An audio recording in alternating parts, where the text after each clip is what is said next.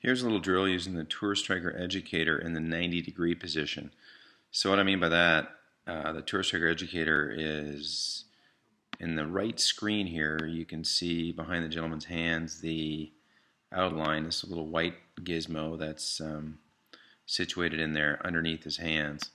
And it's in the club, if the grooves are vertical when holding it at waist high, the educator when plugged into the grip is actually 90 degrees to the grooves on the face.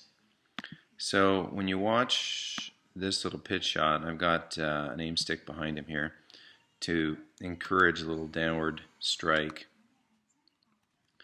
You can see how this unhinging occurs into a nice looking leveraged impact condition and then he lets his body and everything release and his hands are sustaining those alignments, not flipping, not rolling.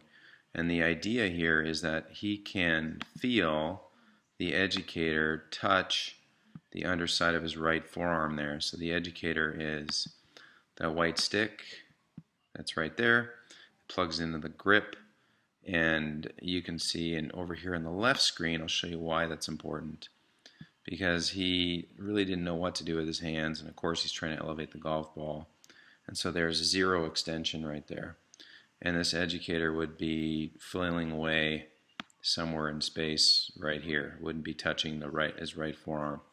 So it's a great little drill, an awareness feedback device, so that somebody practicing can actually know what their hands are doing and not try to flip them, not try to roll them, not just to allow them to work in the a nice rate of closure through the arc of the swing as the body helps transport and extend into the finish.